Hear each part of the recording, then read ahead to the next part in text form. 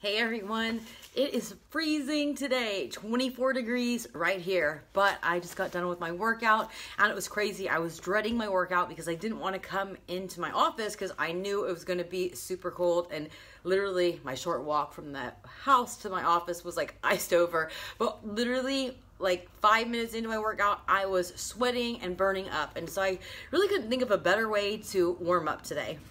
So today is January 16th. It's crazy to think that we're already 16 days into 2018. But the subject um, from today's um, passage in the language of letting go is prayer. As a matter of fact, prayer is the only real action in the full sense of word because prayer is the only thing that changes one character. A change in character or a change in soul is a real change. Erica Jong has said that we are spiritual beings who are human. Praying and meditating are ways we take care of our spirit. Prayer and meditation are disciplines suggested by the 11th step of the 12 step recovery programs, Al Anon, adult children of alcoholics, and others. Prayer and meditation are not necessarily connected to organized religion. Prayer and meditations are ways to improve our relationship with a higher power to benefit ourselves, our life, and our growth.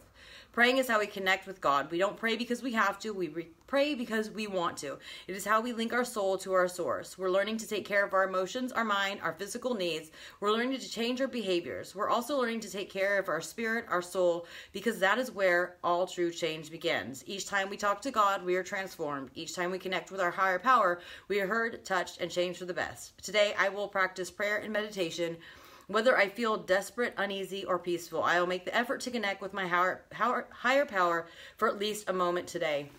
So, a lot of you know that I had really bad experiences with religion early on and witnessed a lot of hypocrisy just from the people that raised me. But I'll say that since getting sober, since really tapping into personal development and really connecting with people like Tony Robbins, um, Gabrielle Bernstein, um, I have learned so much more about really trusting the universe, connecting with your higher power. And it really has nothing to do with organized religion or deeming yourself as a Christian or a Catholic or anything like that, but really um, taking time to focus on yourself, to, you know, send after positive affirmations out and focus on yourself and connect to your higher power, whatever that is. And so this is something that I've learned to get more comfortable with, and it's helped me become more in tune to myself instead of blocking out. Um, you know what I can receive from my higher power. So this is something all new to me, but I thought I'd share that passage with you and you can, you know, connect to it whatever way